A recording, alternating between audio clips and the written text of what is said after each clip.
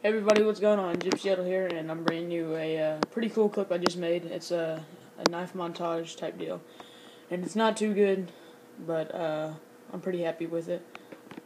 So uh, let's start it off here. Um, it's launch, obviously. Uh, right here, the only reason I recorded this part is because I dodged all those bullets like a boss, and then I got the tomahawk kill, which I don't know if you guys will be able to see and then it stops for a minute. I don't know why. And then it goes into it. This is where it gets good. And then this is where the montage actually starts happening. That was like a fail.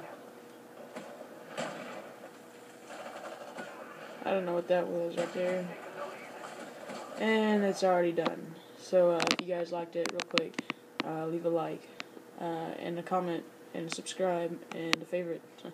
Uh, I'll probably be starting a new uh, series called Montage Mondays, where I just get a bunch of cool uh, feed, kill feeds and stuff like that with one certain weapon and put it on. So uh, thanks for watching. Gypsey out.